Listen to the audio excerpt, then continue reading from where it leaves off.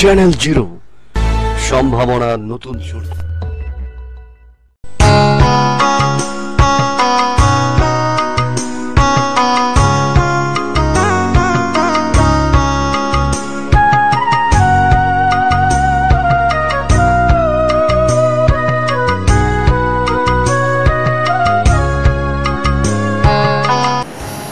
Zero channel একটি প্রচার মাধ্যম, ইলেকট্রিক প্রচার মাধ্যম এটা অত্যন্ত আমাদের জনপ্রিয় একটি চ্যানেল যা আজকে দ্বিতীয় বর্ষপূর্তি পালন করতে যাচ্ছে।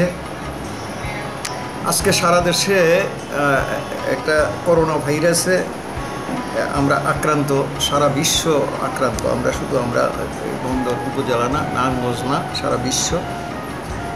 যার জন্য খুব জাঁকজমকপূর্ণ করে আমরা এই চ্যানেলের বার্ষিকী উদযাপন করতে না পারলেও কিন্তু আমাদের নারায়ণগঞ্জের মানুষের ভিতরে এটা একটা স্থান করে নিয়েছে।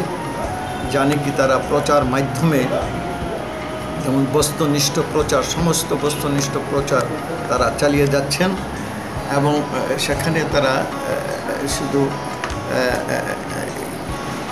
জনগণের চাহিদা জনগণের প্রয়োজনীয় চাহিদাই নয়।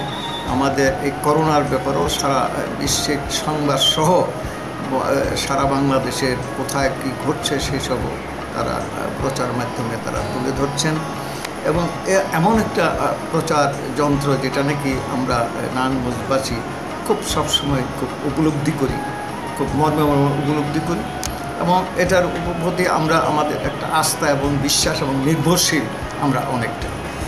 আমরা নারায়ণগঞ্জের মানুষ, বিশেষ করে নারায়ণগঞ্জের মানুষ, আমরা এই চ্যানেলটা জিরো চ্যানেলের প্রতি আমরা খুব আস্থাশীল।